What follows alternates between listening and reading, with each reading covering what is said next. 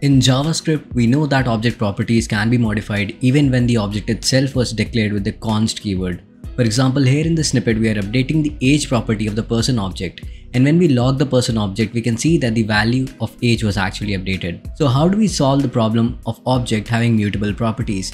Luckily, JavaScript provides a static object method freeze to solve this very problem. So what does this Object.freeze static method do? It prevents any changes to the object properties and prevents new properties from being added or removed. Let's see it in action. So here in our new snippet, we have the same person object, but in our next line, we're calling the object.freeze static method on top of the person object. And then we try to change the property age. We also try to add a new property and delete an existing property. And as you can see, none of the properties are modified or removed from the person object. So basically, once we've frozen the object, any attempts to modify its properties are futile. It's like like putting your code on lockdown. Hope you learned something new today. Subscribe to the channel for more such videos.